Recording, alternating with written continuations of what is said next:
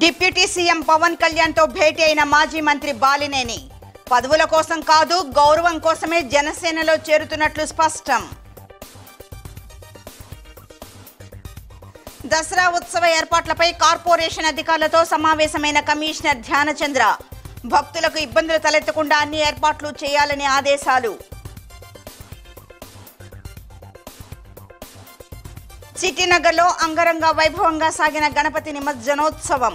భక్తులను అమితంగా ఆకట్టుకున్న దేవతామూర్తుల ప్రభలు.